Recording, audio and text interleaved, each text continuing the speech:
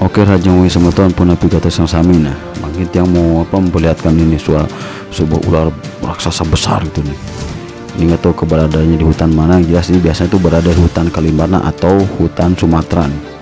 Ini ularnya kayaknya panjang bisa sampai 10 atau 15 meter pemirsa semeton ini besar sekali nih. Ini produser yang angkat kayak ini. Bisa lihat badannya besar sekali semeton lihat. Bagaimana gak kebayang kalau kita dilahap sama ular ini. Ini ular piton nih kayaknya ular piton kembang atau ular piton paku? Ini sanca kalau di kita tuh ular piton kalau di orang kita kan ular sanca ini saking besarnya pemirsa lihat nih. Dan panjang juga nih. Ya, mungkin ini kakeknya ular kayaknya ular, piton pemirsa oke gitu ya pemirsa. Lihatnya kita ngeri